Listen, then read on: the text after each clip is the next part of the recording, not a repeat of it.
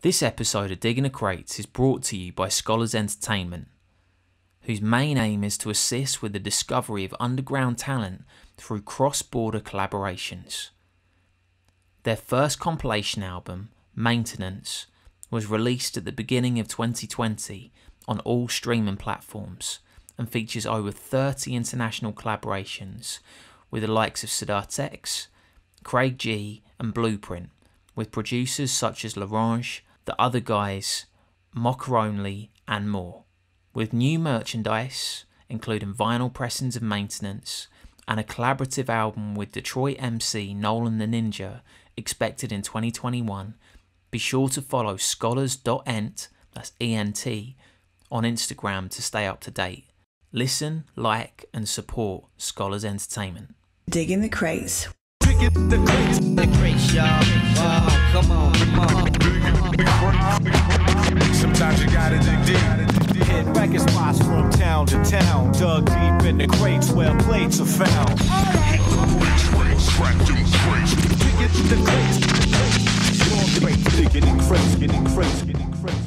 This is Digging the Crates. I'm Vice Beats.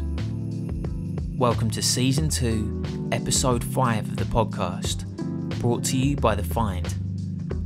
Podcast focuses on exploring the art, passion, and culture of hip hop, going beyond the typical questioning and digging deeper into the passions, inspirations, and experiences of those involved in the scene's rich culture. Featuring artwork from Sic Film, intro music by Herma Puma and Jabba Tha Kut, and interview editing by Felix Payne. This time, the graphics are an ode to 1996's album from the Fugees, The Score. This episode features a Detroit based MC whose path via Atlanta has seen her working with the likes of Apollo Brown, Tom Caruana, YU, Lex Boogie from the Bronx, and so many more. Her distinctive and defined perspective on the world around her has garnered attention and support from some of the most respected tastemakers and DJs within hip hop. This is Digging the Crates with Boog Brown.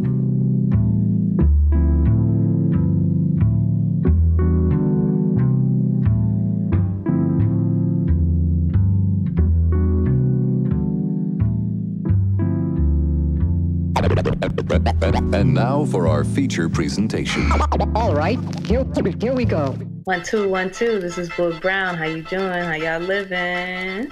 All right, now we checking in. We're digging the crates. Vice beats. Holla.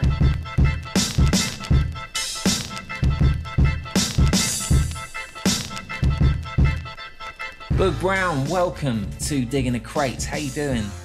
Ooh, yeah, doing great, man. How are you? Yeah, I'm, I'm good, thank you. Good to have you on. Thanks for having me. For sure. I just wanted to start by asking you. I know you got into rhyming through poetry initially, so I was just wondering what music and poetry you were originally listening to as a teenager that inspired you to write. Oh man, interestingly enough, I my answer has changed a lot since the first time I started answering the question. Because when I actually think about it, uh, what I was actually listening to was more like R&B, more like uh, Anita Baker and Phyllis Hyman and Vandross, George Benson, kind of like whatever my parents were actually listening to. And so when I actually got of age to be able to listen to anything, I started with uh, Outkast, ATLian, Nice. and uh, Only Built for Cuban Links, and by Raekwon and Nas's It Was Written. And those used to be the dominant answers, but then I remember how much I enjoyed, you know, as problematic as we discover it is now and know kind of in, in the back of our hearts and minds then how much we like Dogg Pound and how much we like Snoop and how much we like Kurupt and Daz. Yeah. You know what I mean? Like, Kurupt the kingpin and that nigga Daz. You know what I'm saying? Like they no nobody's really touching Kurupt on on the rhymes, but I digress. I'm saying this to say like there's so many others. Uh Redman, Keith Murray, EPMD a little bit. I really want to mess with it like that. I really dug uh Heavy D and Monie Love and Queen Latifah, of course. It was just like there's so many dope poets and dope stories that kind that really influenced my life that I, I had limited to it to these three albums that I purchased first with my own money instead of really remembering that I bought some maxi singles that had a bunch. I bought a total maxi single. I bought,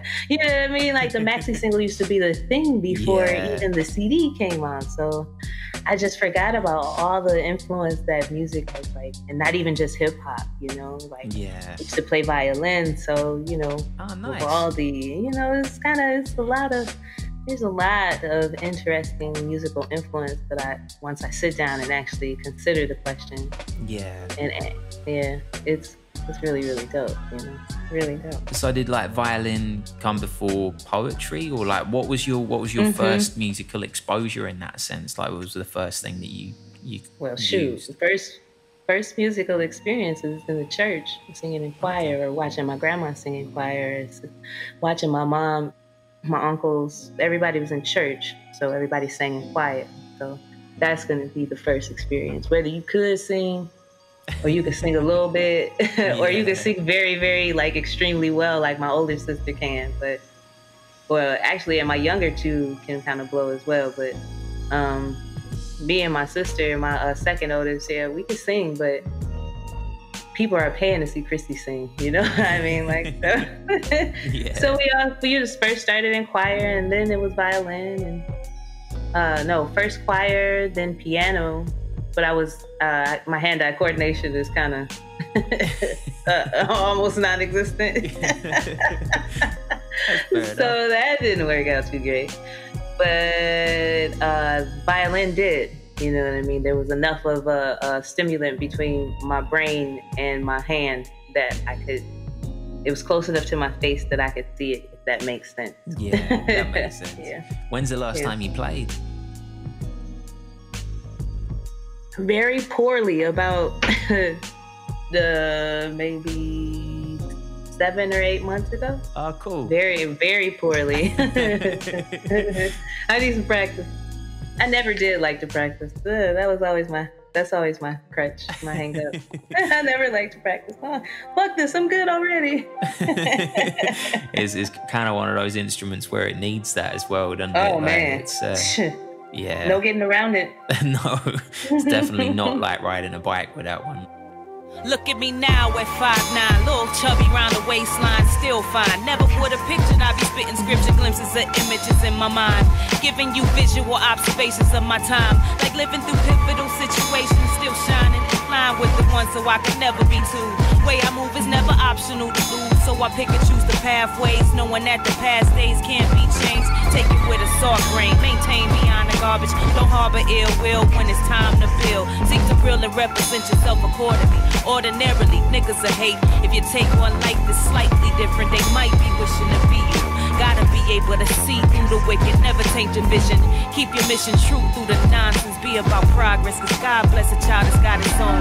Life is what you make it, nigga. I'ma make it. No matter what it takes, my nigga, I'm gonna take it. You originally were raised in Detroit, so I was just wondering, I guess, whether you feel Detroit influences your music, be that your music that you make or the musical choices that you've made in terms of things that you listen to over time. Wow, definitely. Um, as I think about the range of Detroit music, from jazz to house to techno, well, not not necessarily house, but some house, and to uh, techno and punk and hip hop and R&B. You know, I mean, it just goes on. You think about from Anita Baker to Aretha Franklin to Stevie Wonder to you know Marvin Gaye to you think about all these people and all these influences. Berry Gordy, you know, was Jesus. We're talking about Motown here. You know, we're, we're talking about. And even now, we're talking about Third Man. We're talking about Three Sons. Well, I don't know if that would be based here, but you know what I'm saying? Like, there's so many influence, like branches of this grand and great tree that Detroit is such such a pivotal part of it all. Even even not even just listening to Detroit artists, but being in Detroit and having these formative exchanges happen with this music playing in the background. you know, watching my uncle sing and dance and like kill it, you know, kill it. I mean, but then watching him get in the church and seeing tears to your eyes, you know, it's Yeah. it, there is just too much to. The Detroit is always, always and forever the most illest influence. Yeah, for sure. I moved back from Atlanta about three year and a half years ago. Three, almost four years ago. Yeah. So, I mean, what made you move back from Atlanta to Detroit? Everybody asked me that, and they asked me like with a little bit of asshole in their tone too. Like, not saying that's you, but people are like, "Damn, why you leave Atlanta to go back to Detroit?" Well, at the time I came back, um, I was really on some other shit in Atlanta, and I had really lost sight of a lot of things, like uh, largely myself and my purpose and my goals, my health and all that stuff, you know. And I was like, you know what? If you're gonna be wilding out, you need to wild out close to home, Yeah. where you can at least meet your nephews and watch them grow up, and you know, see your niece grow up and be in touch or with your father and God rest my grandmother, but like see and spend time at uh, at least a little time, at least more time with my grandmother before she passed away. You know, Yeah, for sure. these things are important to me. My family, I, I hadn't seen them, and I, I needed to get back in touch with myself, in touch with my roots, because I had, you know, kind of been a balloon Yeah. swinging. You know what I mean? it's just just blowing, and I. I needed that. I needed that. And because nothing else kind of gives you a straightening like Detroit. Like there's just no other place where, you know, it's cold more t- more often than it's not, Yeah, you know. I get you. So you have to be guarded, but then you have to be discerning and you know, you have to keep your warmth. You have to keep that. And that's a lesson that I learned in Atlanta, but also is being refined uh here as well, you know. Yeah, keep your sure. cool in Atlanta, you gotta keep your warmth in Detroit. Like you gotta you got to really know how to balance those two things though because if you are relying on the temperature of the, the place around you um, solely without you know putting on a coat or taking off a coat then you are you know you know you're losing out you're missing out. And i was missing the big picture. So i was like you know bring your ass home elsie. And so i did. I did. And i feel a lot better. Ah, that's good. I mean, it's it's crazy. I mean, in terms of Atlanta, I mean, it's it seems like certain scenes within within hip hop have have come to the UK and are really present. I mean, obviously New York's like around the world, but there's certain scenes where. I mean, like the LA scene in certain aspects where I guess it's more defined and better known, but when it comes to Atlanta, I wouldn't say it's necessarily, the, I, I guess, like the positive sides of the scene or like the more kind of I don't really like the phrase, but like kind of underground scene or truer scene to, to music hasn't really seemed to shine through just yet. But I mean, how was it being within that scene? I mean, did it? I mean, as you've as you've been within Detroit and other places as well. I mean, did you find the the way that hip hop was responded to or created there was different? Absolutely. Because as much as Atlanta, like its population boomed after a while, right? and so there are a ton of transplants here. You got people coming around to the AUC, coming for school. So there are people from all over, people coming from all over to go to Georgia Tech, people coming from all over to go to Clark Atlanta, people coming from all over to go to Spelman and Morehouse and you know uh, uh, UGA and Georgia uh, State. So you know you got people coming from all over the world. So you had groups of people that had that interest in that essence of hip hop, not necessarily rap. Rap is a, a, a, a subgroup. Like rap is the thing that you do, but hip hop is the thing that you live. Hip hop is a part of the culture. It's the dress. It's the vernacular. It's the the freedom to express. It's the you know, it's the very essence of what rappers do. You know what I mean? If, if more rappers would get in touch with the essence of the culture, then we could get a little more headway, I think, because then there would be space for everybody to exist. But when you're talking about rap, you're talking about a commodity too. You're talking about something you can sell, something that anybody can do. Anybody can rap, you know, anybody can have words and rhyme them together. Can you perform them? Maybe not. But you know what I mean? But that's where the MC comes in. So Yeah, sure. it's like you know, there's there's so many so many uh, levels to that conversation. You know, yes, Atlanta nurtured the hip hop lover in me in such a phenomenal and exponential way. I will gladly send you any music you would like from some of my favorite artists. And if you enjoy them, please include them in whatever rotation that you, whatever crate you dig in, throw that one in it too. You know what I mean? Cool. So who who would you recommend that, that people check out within that scene? Oh man, my crew, working class. We worked over on so many projects over the years. Uh, working class, Dirty Drum Academy, Lex Boogie from the Bronx, uh, Ekundayo, uh, Sue Coat Jones, and the. Um, what is it? What is it? Uh, so many, you know. I mean, there's so many MCs, so many like true MCs. Like Ekundayo is probably one of the illest MCs ever.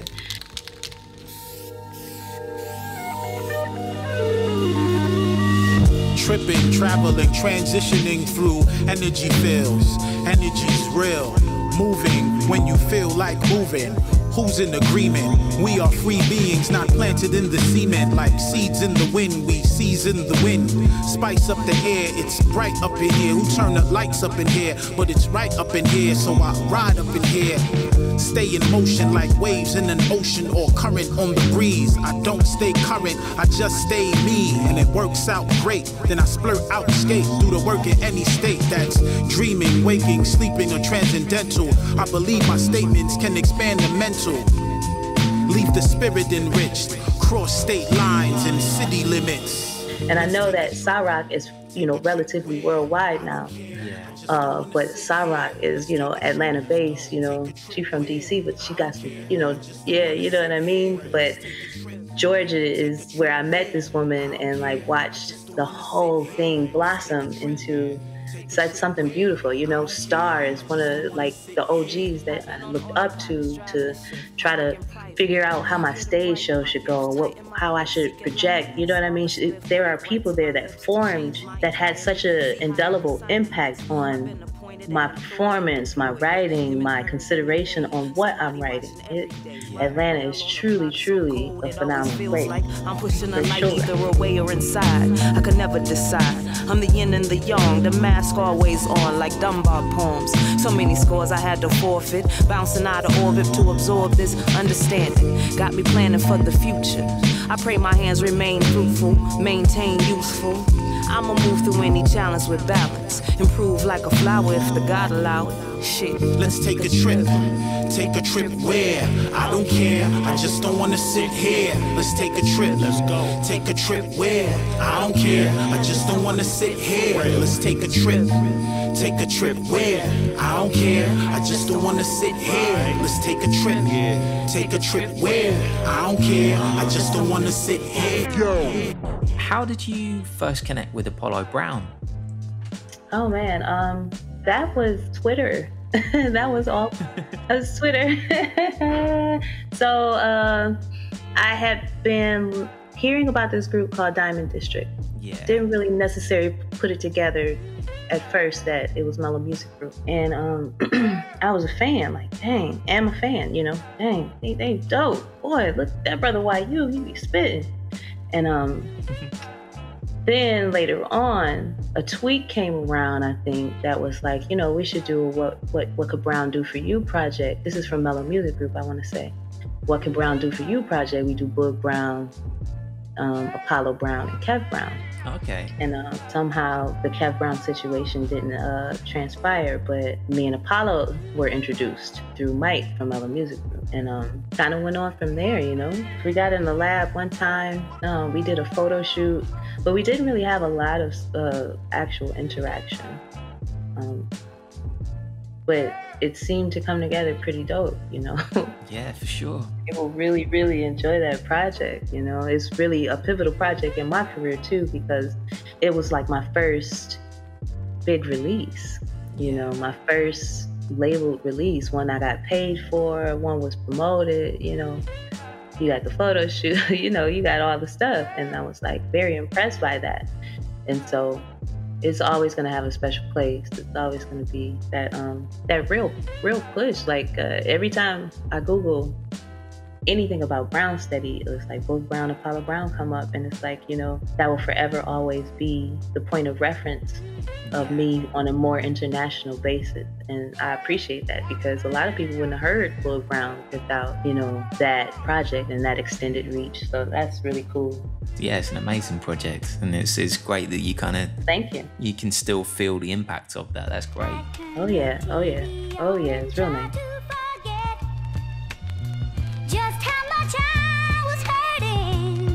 You can dig in the crates with Vice Beats. Yeah, they smiling in your face. Behind your back, all they got for you is hate. Yeah, they smiling in your face. Behind your back, yo, they wanna take your place. Just smiling in your face. Behind your back, all they got for you is hate. Just smiling in your face. Yeah, they smiling in your face. Funny how the time changed, strain some relationships. Turn your back for a second and they done flip the script. Oh yeah, they love it when you're down on your luck, then reappear when they need you and be all in your ear. Like, oh, but you listen so well, feel like I could tell you anything. Let me drain you empty with this energy. Like I ain't dealing with shit, dodging rumors. I know two that came from cause you the only one I talk to. Superficial bitches that be creating the issues I just ain't got time to listen to. See me in my weakness, say you'll keep my secrets, then betray me without thinking. Then you call me fan without understanding the meaning. If I ain't love your mother, would've been said fuck off. Giving you the benefit, you hit me with the gloves off. I should've known you was a whole ass faker when I first saw the hatred. Shit caught me with the bait and switch. Friends like these, no need for enemies. Always with a trick up they sleeve, just like a fiend. They backstabbers, whatever's yours is what they after. They see you when you shine and wanna try to dim the light. They all smiles when you around. When you leave, they drag your name on the ground. Make me wanna holler, how could I have missed it? You on that pretend shit, fuck here. This ain't a friendship, this ain't a friendship. So, what tends to be your typical process when you're creating music? Is it does it tend to be that it's the lyrics or a concept first, or is it the beats that come first? When I was a more diligently practiced writer, um, as I get back into writing diligently, as I get back to into my practice, it's important for me to write more in the columns, in the margins about what I'm writing about than to necessarily hear a beat and write something. Okay. Where it used to be, I mean, I can do that and I do do that often, but I do want my writing to not be confined to a space. So if I write something and I have a BPM in mind, 92s, let's say, and I write it to the beat of that, right? But the the the beat that the, the the topic fits on, the topic of the writing fits on, is you know 96 BPMs or you know 93 BPMs even. I should be able to switch my cadence. I should be able to play with the words. I should be able to edit. Should be able, you know what I mean? Not should, because should is a bad word for me. Yeah, yeah. But I am able to do those things. So because I'm able to do those things, it keeps my writing where I can just write the story and then let the beat come in, or or let the beat uh, guide the story. You know, so yeah. I just really like to get into the process of feeling like, okay, I'm about to write the coldest shit I'm about to write ever before I even pick up the pen and pad. You know, as I'm thinking about like what I want to say, or as I'm thinking like just flesh out the idea so that I can stay on theme because I've noticed in some of my older joints that I, I kind of be all over the place or can, can be all over the place, but uh, you know, but that comes with practice, you know, that's practice too, you know. And I feel like when we talk about practice, we don't consider hip hop having to be something that you practice. But when you think about, um, not necessarily, right, people or rapping, I should say, it's not something that you necessarily need to practice. But when you think about a doctor, for example, who has to go to school for your, you know, undergrad and then Yeah. Med school and then residency like that's all practice. That's all a thing to get better and sharper and know what questions to ask and what turns to make and what you know and so with writing and music in general you know there's always got to be that push and pull that ebb and flow with your practice and your art i think. And so now that i've gained a better perspective and consideration for that. Shit, my writing is so gold. I like it so much more. Uh, it's really nice. Yeah, for sure. Oh, that's awesome that you can kind of feel it, feel it evolve over time in that sense as well, and feel more, feel more in it in that in that degree. For sure. Where do you tend to record then? Do you record at home, or like, is there a studio setup that you use? Mm, I would like to record at home. I'm not a very uh, tech savvy gal, but uh, I am not afraid of learning either. However, I do appreciate the idea that I'm here to do one thing and the engineer is here to do another thing. And because the engineer knows a great deal more about what is happening, I can learn some things from said engineer that will help in my at home practice. But it will also help me as I venture forth to other studios to do other things, right? So I can ask those questions and know which questions to ask. And yeah. say, hey, I like my voice to sound like this, and I like for, you know, to record like this, and to get a general comfortability with the engineer. I've been recording with this gentleman named Asar uh, at Isolation Records, and he's really been really, really dope. He reminds me of a, a cat named Mudknock that I used to uh, record with uh, on a very rare occasion because he was always super booked. Shout out to Mudknock. And so, just like Asar, they both just super booked because they're so exceptional at what they do.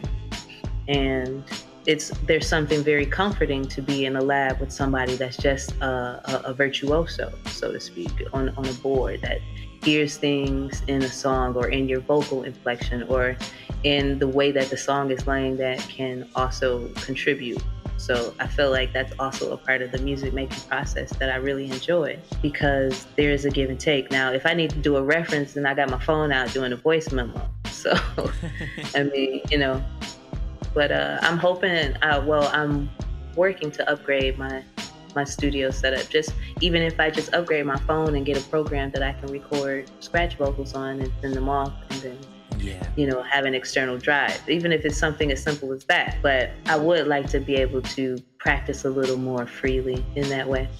Yeah, that sounds good. Who you? Ha, and where the hell have you been?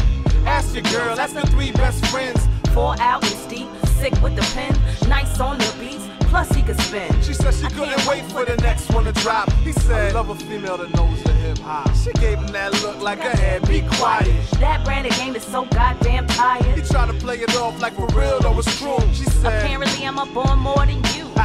Acting like it's a new phenomenon, man. Listen to the hook to the song.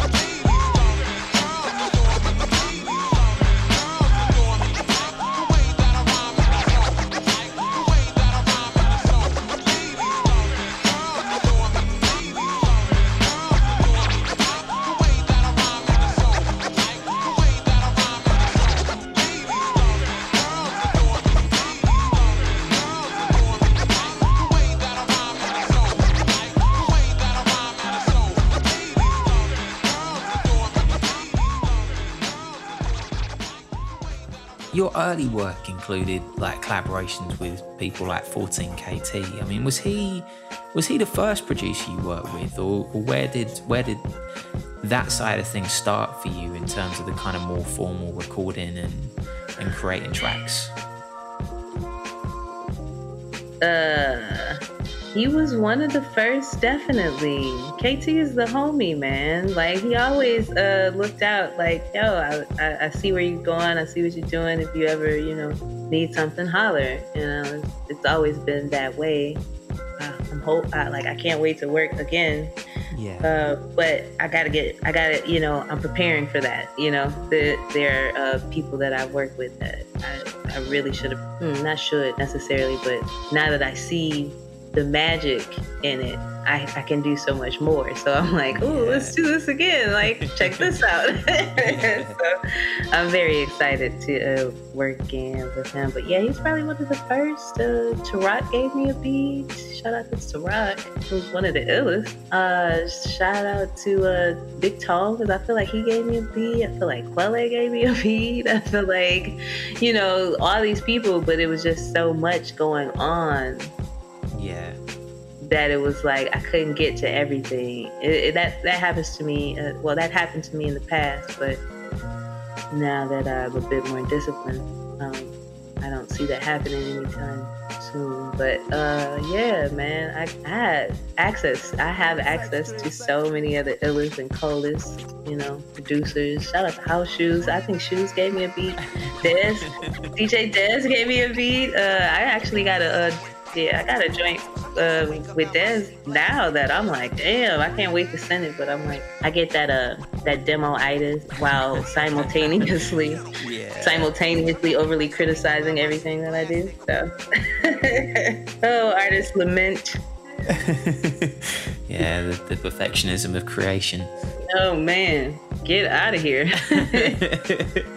So I mean, with with that in mind, I mean that's that's quite a list. But I mean, which what which artists would you like to collaborate with? You know, be that lyricists or producers. I mean, are there are there any that you're yet to where you think, okay, I it's it's in my sights. I want to make that happen, or or you kind of got a dream list up there. Uh huh. Uh huh. I do. Uh, I want to rap with Elzhi, Big Tone. Um, shoot. I want to uh, get on tracks with Monica Blaire, Idea. Uh, like I said, Dez, DJ Dez, Dez Andrés. Uh, I want to get, you know, it would be love to. I'm gonna, I'm gonna work with Black Gold and this cat named Mefta. I'm not sure Okay. you gotta you gotta check these kids out, man. I mean, you gotta kids. I'm sorry, you gotta check these guys and girls out there, gals and dudes, ladies and gentlemen. We gotta check folks, homies, people. You gotta check these artists out. They are incredible, incredible talents. But you know, yeah, Dion Jamar. I want to work with. I want to work with a lot of people, but I, it's one, it's gotta make sense, and then two, uh, there's gotta be um, the space for it. You know, uh, oftentimes And um, when we're working, we get consumed with work. Excuse me, um, like nine to fives, because I've always worked at nine to five. Uh, this is probably the longest time I've gone without working consistently, mm, at least two or three jobs, or you know, one or two, of course, jobs. Yeah. But um, not having it now gives me the freedom to kind of free up this space and clear out some cobwebs to get more diligent about what it is I actually want. Because I don't want, I really don't want to work a nine to five. So how about I just like put in just a, a little more effort into what it is I want to do and see what happens from there, you know? Yeah, for sure. It's a good mantra.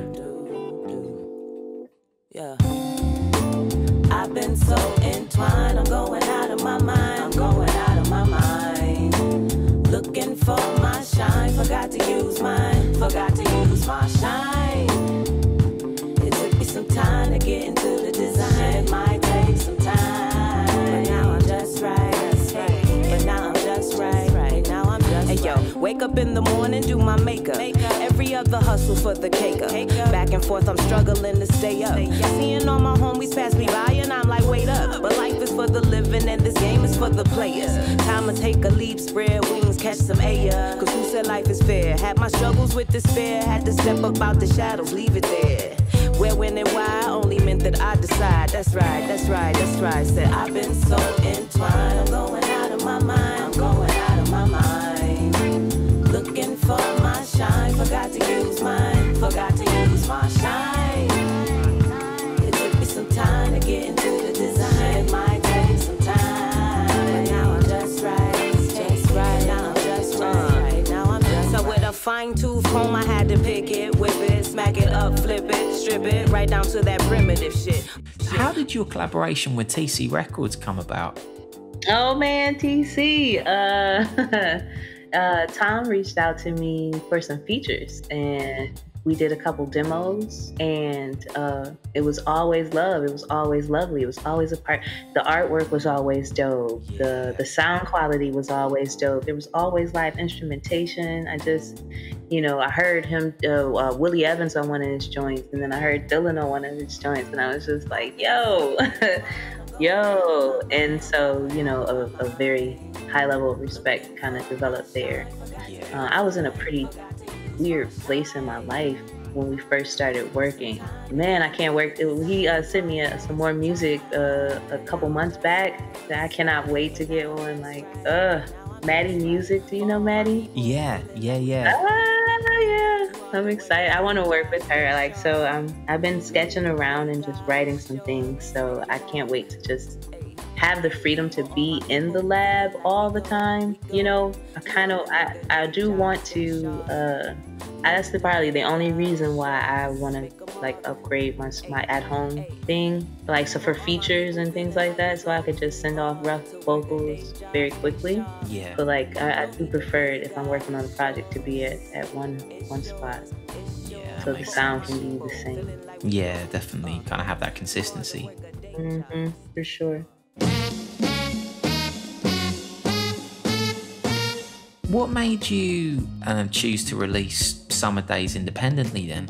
Oh, I feel like if the artist can have the more control in the release and payment uh, thereof of said project, then we should do that because I just think that's a, there's a freedom in that. There's an ac- accessibility, and so while I am trying to reach more people, or the goal is really to reach more people, I, I'd like to do that. But also, um, my super fans, my core fan base, always make sure that I'm uh, loved and taken care of and, and heard and seen. And so I, I have to move for them in a way that makes as much sense that I can give them the best thing. So sometimes if I need to take money from another thing to do another thing, I can. I haven't necessarily been approached by a label to do a thing, but I feel like there are ways around there are ways around that. I feel like that if that should ever come again, then that that'll come again. But out, outside of that, I'm really just like uh,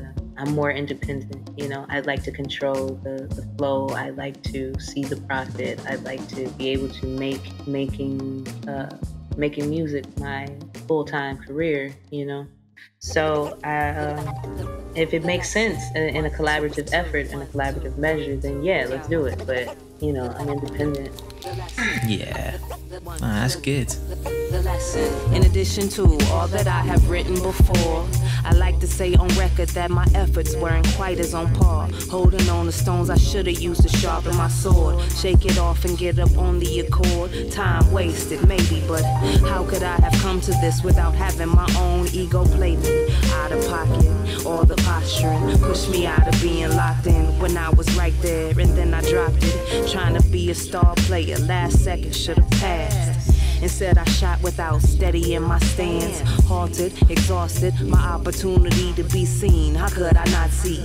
Eyes green, trying to be held on for so long. I could no longer breathe. Vision blurred, undeterred. Cast my pearls onto swine, calling a divine when I wasn't listening. I was just an infant when it came to implement the lesson. The lesson, the lesson, the lesson. Let's take a sec to, to, to, to think the back. blessing? All we have is, is, is, is Ain't it the blessing? Ain't it the So, so, so listen up. So, I mean, outside of rhyming, do you get involved in any other aspects of hip hop, like in the broader culture? Well, yeah. I mean, shoot, I dance all the time. I'm not I'm no breaker, but I, you know, I dance. I consume the art. I consume. I support the arts. Yeah, Is yeah. what I, I do mostly. You know, I did try my hand at DJing, but you know that all of that stuff requires equipment and, and investment. And I think my investments were kind of out of alignment. So all of the things that I want to do, that I'm going to do, uh, I gotta sit back and restructure a bit before I do that. Yeah. But uh, yeah, I'm definitely gonna produce and I'm definitely gonna DJ. I mean, I love DJing, but I, I want to DJ with vinyl. I don't want to DJ with on DJs. I just love the way vinyl feels and sounds. Yeah. So I'd like to do that. But you know, I will. I'm willing to learn either way it goes. So, do you collect vinyl yourself? Like, have you got a collection? I do. I do. So, what's kind of what's the gems in your collection? Ooh, I got a um. Hank Mobley, No Room for Squares. Nice. I got a Nina Simone, Four Women. Okay. Parliament, Funkadelic, America Eats Its Young. Um, is one of my favorites. Uh, Here, My Dear by Marvin Gaye. Uh, ooh, so many. And then I got, you know, Nolan's and Ninjas Project. I got uh, Nick Speed. I got House Shoes. I got Clear Soul Forces. I got, you know, Sa-Roc. I got Lyric Jones. I got, you know, 45s from Dylan. And you know, you know, I got, yeah, I got mad. I got, I got some stuff. I like my, I think my jazz collection is coming along. I like jazz. I like old school funk too, though. Yeah, that's awesome. Yeah, I mean, it does seem like the. I mean, you, you touched on a few more names from like the Detroit scene as well, and it does seem like it's it's a quite a rare and special, I guess, like subculture in itself. Really, I mean, like I, a few years ago, Clear Soul Forces came to the UK and like mm. had had some time with them. Like they adopted me for a little while, and like they were just Nice. cool guys, and like it just it just Nice. it just seems like every every artist who who kind of makes it over here or, or like yourself kind of talks about the city and the scene just talks about it with such warmth and energy and, and even though there's that kind of balance of yeah okay it's not perfect it's like there's it seems like there's this almost kind of tangible emotion involved in in the scene itself and like this real kind of I don't know almost like kind of honesty and integrity to the art which you don't really see in that many places like it seems like it's a pretty special place really Yeah, I would say so. I mean,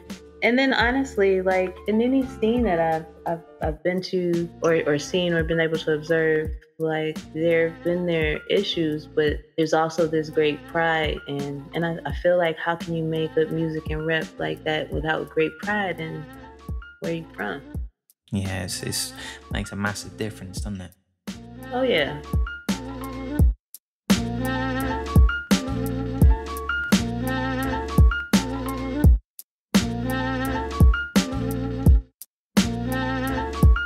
Involved in the conversation. Use the hashtag DTC podcast. So I mean, you you've touched on a few little bits that, that might be on the bubble, but I mean, like, what's what's your plans for like 2021 and beyond? I mean, like, what's where where are you going with all this? Oh man, I can't wait to get to the UK. I can't wait to get back to touring. You know, I can't wait to get out and see new things and more things. Cause and then get with in front of other artists and record in different areas of the world and the country and just be able to create at you know at like at a moment's notice. I, I'm looking forward to be able to do that. Um, I got a project that I'm working on that's, that should be out should be out for Christmas. Actually, it'll be out for Christmas. It's called uh, Theory versus Practice because a lot of things we know in theory that we don't necessarily practice, and you know, it's about you know uh, application. I feel like, but then also applying pressure, you know, to to push, to sharpen, to to do that. So I think it's real dope. Uh, it should be out for Christmas, but yeah, I got some. I got a joint with Corona that's coming out. Got a joint with Slop Funk Dust that's coming out. Yeah, Nice, that joint with Dez. Like, oh man, yeah, I got a bunch. kind of keeping it moving. Mm-hmm.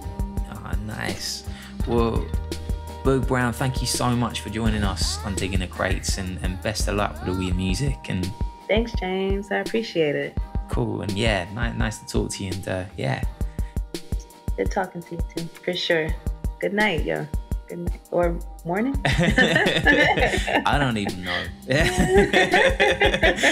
That's new dad shit. Yeah. Cool. Peace. New baby shit. All right, peace. I see the sun peeking through the blinds. I dreamt of new angles, new designs.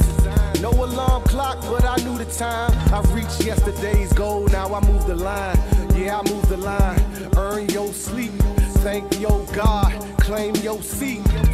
I see opportunity through my window when I look up from my let's go. The view up from here look clear and quite decadent. Delicate schemes and elegant dreams. Give you what you want when you down to receive. A beautiful thing, complex in its simplicity. Careful, you can miss me in the breeze. Learning how to roll with it is the shit. Whoever knew that writing songs would get me this? Not a fistful of dollars, but a couple less problems. Help me straighten up my posture, write it out like desperados, like I'm gripping that Impala. Cause my kick's on lean, ready for better things, so I see it in my sleep. Make believe in my memory bank and give thanks like I already made it, turning the tables in my favor. Thinking for pay dirt. Gotta make it work. If I do nothing else, I'm never wallowing in self pity. My nigga have plenty, have plenty. I have plenty.